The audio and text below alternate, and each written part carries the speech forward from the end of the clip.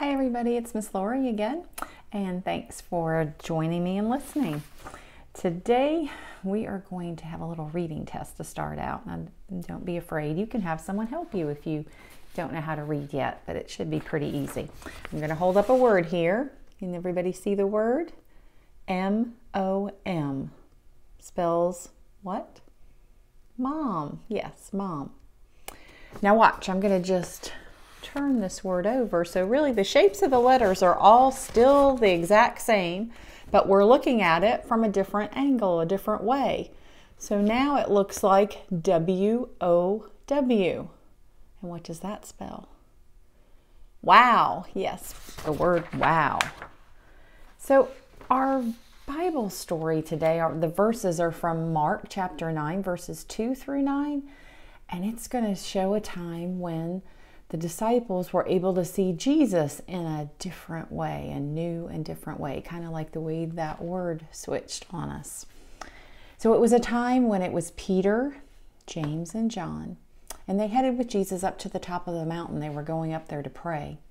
And when they got to the top of the mountain, this incredible thing happened. Um, Jesus suddenly became very bright. His clothes were white, his face was shining. It was just kind of like he was just a ball of light, maybe is a way to describe it, but he was just so bright.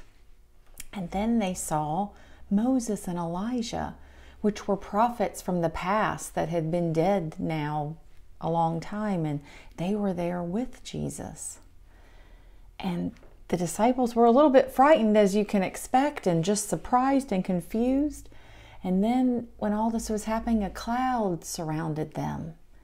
And they heard the voice of God in that cloud. And it said, This is my son, whom I have chosen. Listen to him. So of course, that got the disciples' attentions for sure, and they they were listening to to this voice and realized that they were seeing Jesus in a whole different way, that they really was confirmed for them they probably believed it, but now they were sure that Jesus was the Son of God, and they did need to listen to him. Um, this special story it has a really long and kind of fancy name. It's called Transfiguration. The Transfiguration. Maybe take a minute to say that with me. Transfiguration. Transfiguration. Yeah, and this coming Sunday is called Transfiguration Sunday. Now, when something is transfigured, it changes. It changes the way it looks, it's transformed. And so, just like the word that we looked at, the mom and the wow, Jesus didn't change any shape. He didn't change shape, but the disciples saw him in a new way. Just like when we flipped the word, we could see it in a new way. It's a really exciting moment like I said, it helps them just cement in their mind and believe that He is the Son of God and they should listen to Him. So, as we always, when we read these stories, we know that that means the same for us too, right? We need to believe that He is the Son of God and we need to listen to Him. So, let's take a minute and make sure that our ears are working, that we do even know how to listen. I'm going to make a sound with something off camera and I want you to try to guess what it is. Okay, all right, here's the first one.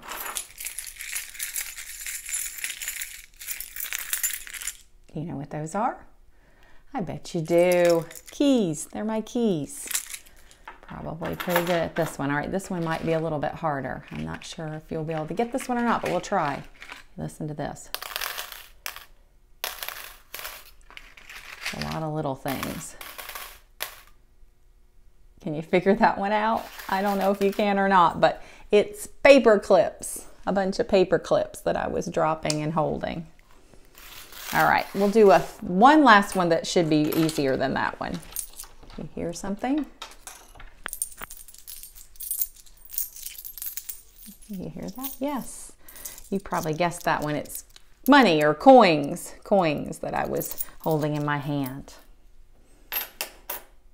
Okay, so I'm guessing you probably did a pretty good job of that. Your, your ears are working. You're pretty good listeners. And in this message, it does talk about us listening to Jesus. But how do we do that?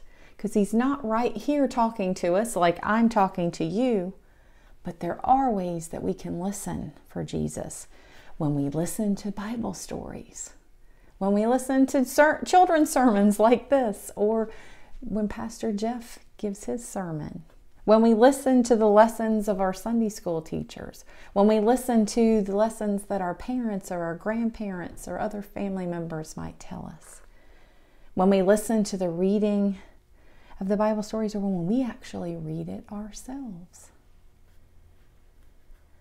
And you know, when we listen to Jesus, it's just like when we listen to everyone else. We need to focus, just like you did with that hearing test when you were really trying to hear something. You know, sometimes we say we're listening or we look like we're listening, but in our minds, we're really not.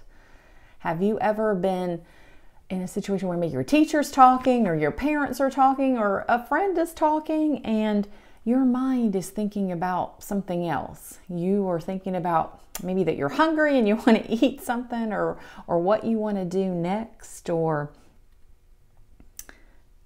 that you like their shirt or something that they're wearing, but you're not focusing on what they're saying. And when they're finished and they're looking at you and waiting for a response, you don't know what they really said or what they asked you because you weren't really listening. You weren't really paying attention. Well, real listening means that we not only hear the words that, you know, that we hear the words being spoken, but that we understand them and that we respond to them. You have to really pay attention. And when we listen to Jesus, we we may not know what all the words mean right away, but that's part of the listening. Then we learn. We learn. We think about the stories. We, li- we listen to the words and then we think about them in our mind. And then when we know there's a lesson in there or something that He's actually taught us to do, we actually do it.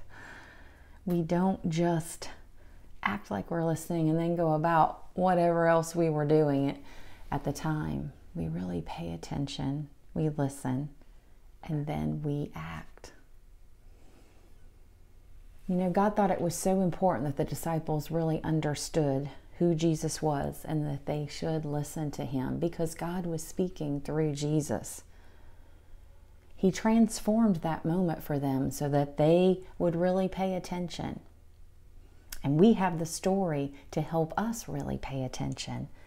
God still thinks it's important for us to listen, to understand that Jesus is his son, and that through him he will teach us how to live.